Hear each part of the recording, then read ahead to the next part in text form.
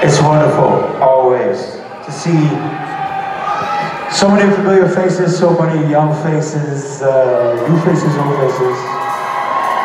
In general, it's fucking wonderful, man. Thank you guys so, so very much.